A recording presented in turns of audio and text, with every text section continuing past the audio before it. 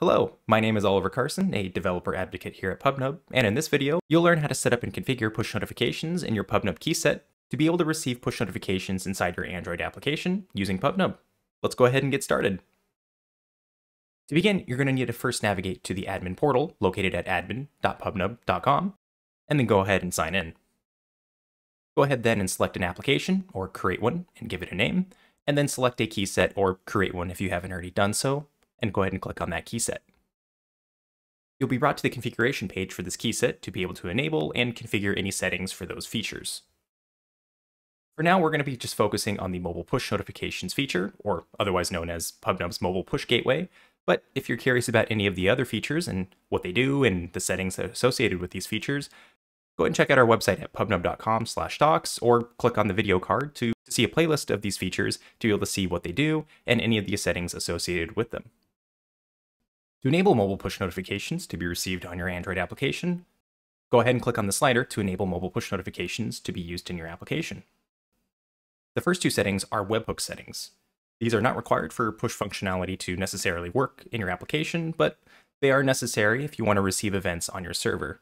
And these events are just actions that have taken place based on a few different scenarios. In this case, whenever a push device is removed from a channel in the PubNub network, or if a push notification error has been detected.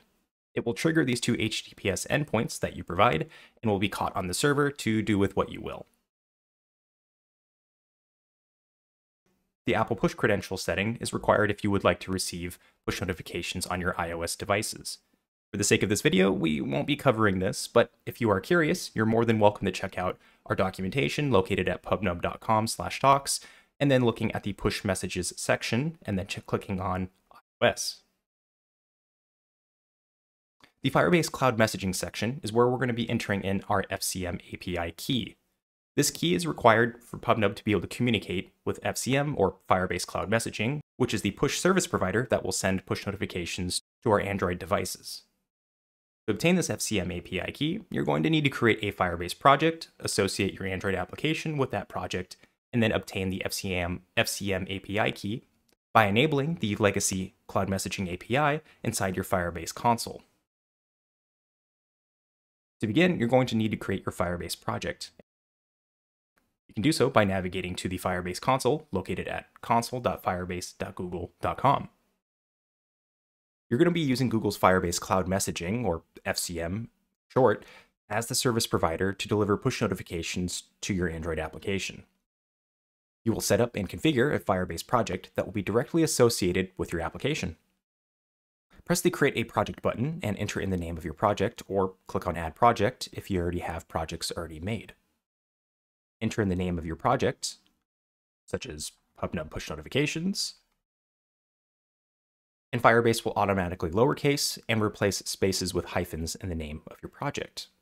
Go ahead and click Continue, and for this tutorial, disable Google Analytics as we won't need it. Go ahead and click on the Create Project button, and after a few seconds, it will create the project. Once the project is ready, go ahead and click on the Continue button, and we will be brought to the project overview page for this new project. Once we've created the Firebase project, we need to actually add our Android application to the Firebase project Otherwise, FCM won't know where to send the push notifications to. To do this, go ahead and get started by clicking on the Android icon below the Get Started by adding Firebase to your app page. And you need to register your application by providing the Android package name. You can find this information if you go inside your application, inside Android Studios, navigate to the build.gradle file, the application level one, and navigate to the Android block, default config, and the application ID. So in this case, it is com.example.jetnews. Let's go ahead and copy that value and paste it inside the Android package name field. And you can leave the nickname and the signing certificate alone. Go ahead and click on Register App. And next, it will have us download the Google Services.json file.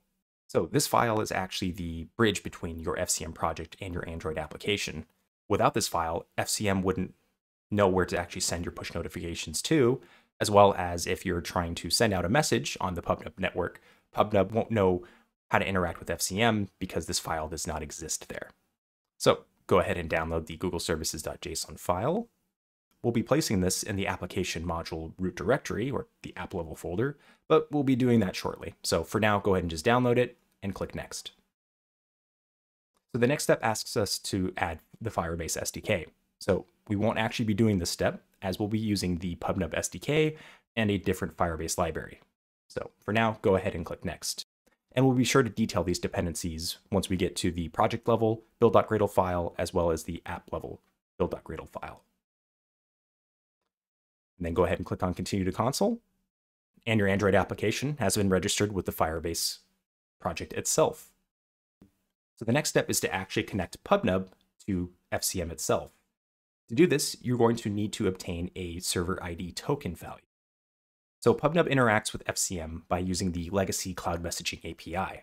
So there are two different types of major versions right now. There is the newer FCM HTTP v1 API, which has better security and more feature customizations than the legacy cloud messaging API.